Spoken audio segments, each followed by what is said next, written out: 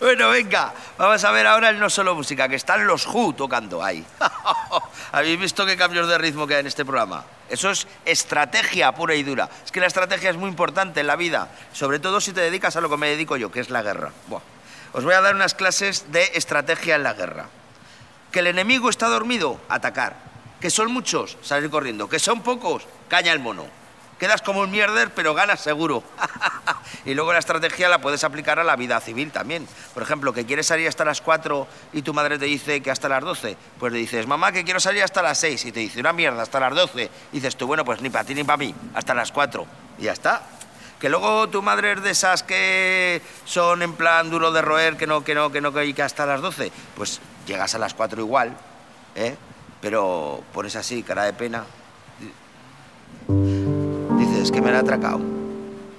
Y vuestra madre irá, pobrecico. Aún encima que lo han atracado no le voy a echar la bronca. claro. Es la misma estrategia que utilicé yo con Al-Muqtadir cuando me expulsaron de Castilla. Me planté en la puerta de la aljafería, así con cara de pena.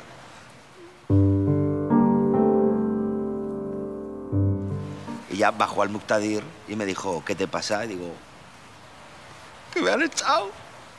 Y me dijo, venga, entra. Y me adoptó. Por eso siempre digo, amigos, que la mejor estrategia en la vida es dar pena. Venga, vamos a ver el no solo música.